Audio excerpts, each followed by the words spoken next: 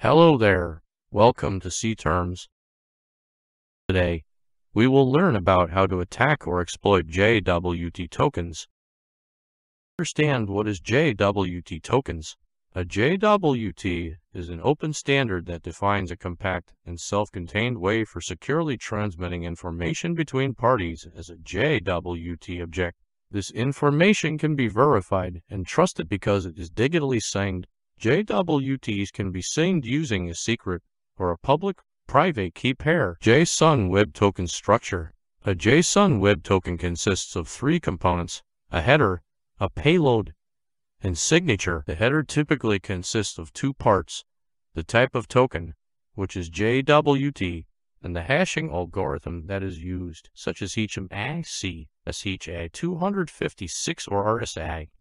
The payload contains information about the user that is logged in, such as username, email address, user ID, etc. Signature is the most important part of the JWT tokens.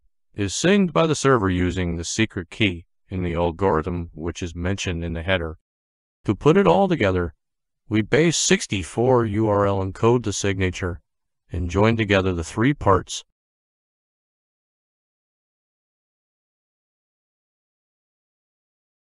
Sensitive information leakage because the payload is transmitted in plain text.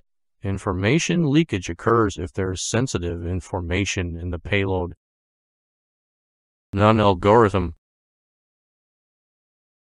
Some JWT libraries support the non-algorithm, that is, no signature algorithm.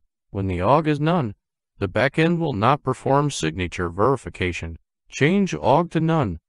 Remove the signature data from the JWT and submit it to the server. Use the burp extension called JSON Web Token to try this vulnerability and to change different values inside the JWT. Send the request to repeater, and in the JSON Web Token tab you can modify the values of the token. You can also select to put the value of the AUG field to none. Modify the algorithm RS256 to each S256 the algorithm HEACH S256 uses the secret key to sign and verify each message. Worries? The algorithm RS256 uses the private key to sign the message and uses the public key for authentication. If you change the algorithm from RS256 to HEACH S256, the backend code uses the public key as the secret key and then uses the HEACH S256 algorithm to verify the signature. Then, using the public key and changing our S256 to HEACH S256, we could create a valid signature.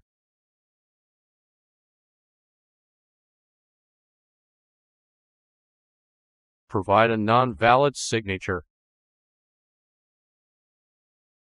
It is also possible that the signature of the token is never verified after it arrives at the application. This way, an attacker could simply bypass the security mechanism by providing an invalid signature. Brute force the secret key. It could also be possible to brute force the key used to sign a JWT. There is more way to attack JWT. If you need detailed video on the same, please let us know in the comments section. And don't forget to like, Share and subscribe to C Terms.